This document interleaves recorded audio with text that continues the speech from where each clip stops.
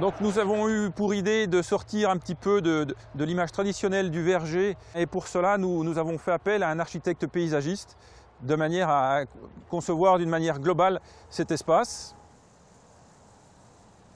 Nous sommes partis déjà d'emblée sur une volonté euh, d'ouverture au public. Nous sommes partis aussi sur une volonté euh, de remettre l'écologie, on va dire, euh, en valeur. À partir de là, on a décidé d'avoir euh, deux types de vergers. Le verger clos va être enclos de murets de pierres sèches. Il y a 170 mètres euh, de longueur sur trois murets, avec des pierres qui sont des pierres locales du des villages avoisinants. Et la dernière euh, bordure est constituée d'une haie, donc d'une haie bocagère avec les essences locales aussi. L'aménagement du verger clos est réalisé aussi euh, volontairement avec une esthétique en bosquet.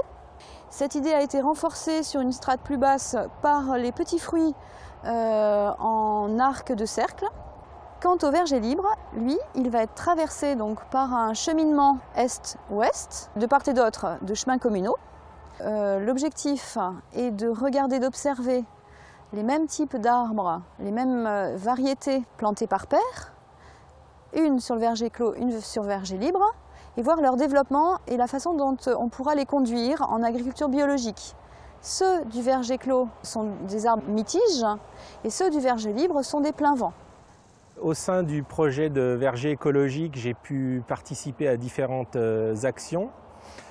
La première action était la mycorhisation avec des hum, BTS travaux paysagers, donc en lien avec un module de formation.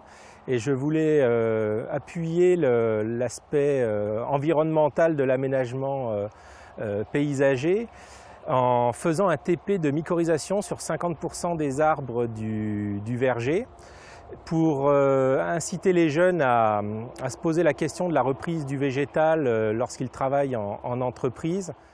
La possibilité de concilier euh, l'agronomie, l'écologie et l'aménagement paysager nous a donné cette dimension pédagogique, bien sûr en interne avec nos formations et nos élèves et donc nos enseignants, mais aussi vocation à ouvrir euh, d'une façon plus large à la société.